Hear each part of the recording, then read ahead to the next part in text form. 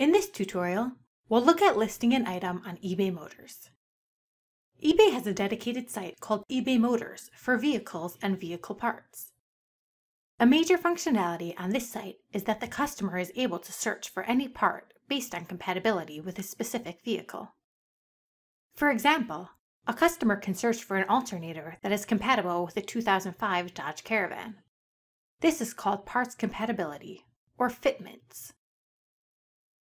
The seller adds the fitments to the listing when creating the listing on eBay. Because most buyers use parts compatibility when searching for a part, this feature is crucial to include your listing in the search results. A second benefit of parts compatibility is that it enables sellers to create one listing for multiple compatible vehicles.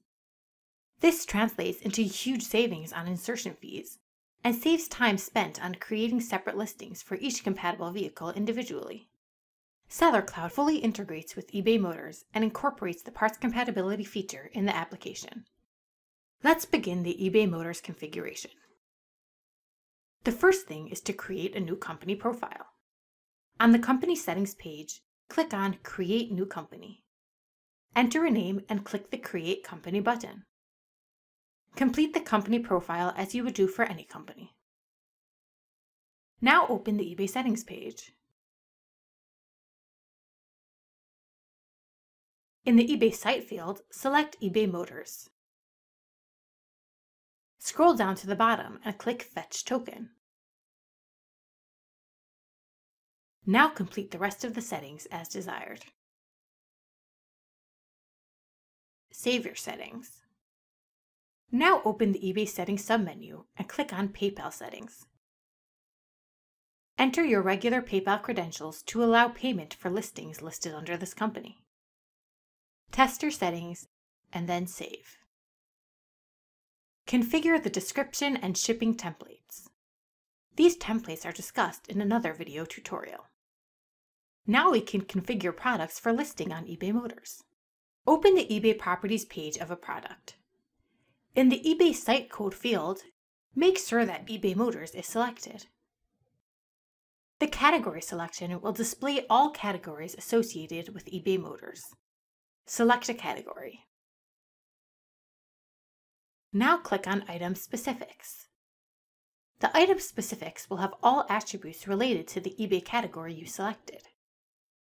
These are the default item specifics provided by eBay, but you can also add more specifics by clicking on the Custom Specific Radio button and adding the additional item specifics there. Now click on Parts Compatibility. As explained earlier, the vehicle details entered here will enable the customer to know that your product is compatible for their vehicle.